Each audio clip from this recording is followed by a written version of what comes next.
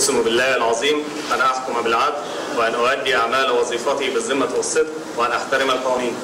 عقب صدور قراري رئيس الجمهورية بتعيين دفعة 2016-2017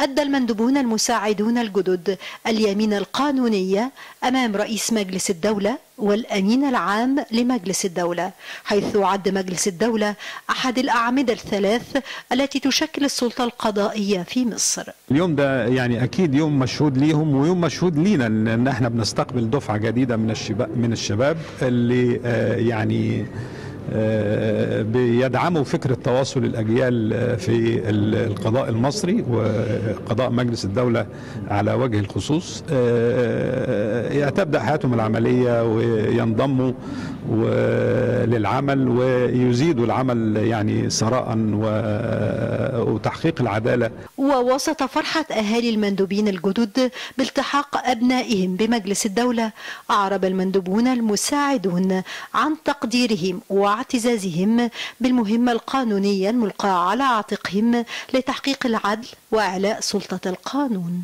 نجني يعني ثمار يعني مجهود عظيم طوال الفترة اللي فاتت دي كلها.